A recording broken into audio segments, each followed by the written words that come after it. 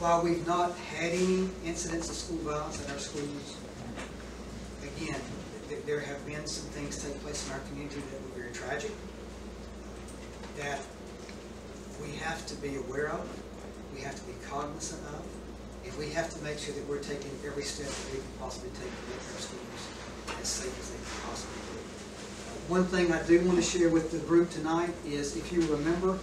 last year we implemented metal detectors at large events such as football games and basketball games. I would like to come to you tonight and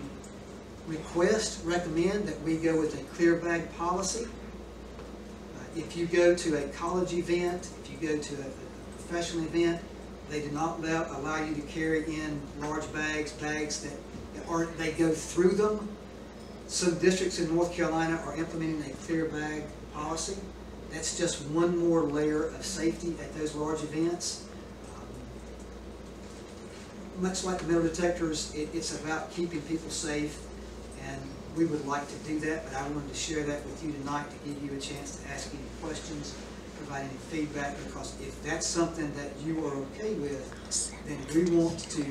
notify our families, we want to notify those people that will be coming to Hickory for athletic events, so they can notify their families. It's just one more layer of,